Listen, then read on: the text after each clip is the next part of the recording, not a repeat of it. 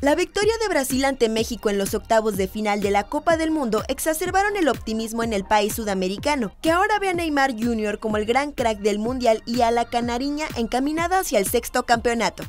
La selección entrenó este martes 3 de julio en la primera sesión tras el partido con México y tiene previsto sesiones mañana y pasado por la tarde antes de enfrentarse el viernes 6 contra Bélgica en los cuartos de final, informó la Federación Brasileña.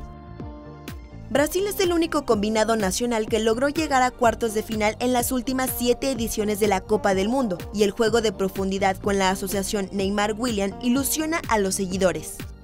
Destaca también la capacidad defensiva de la saga formada por los centrales Thiago Silva y Joao Miranda, pues el equipo recibió solo un gol y cuatro tiros dentro de los tres palos.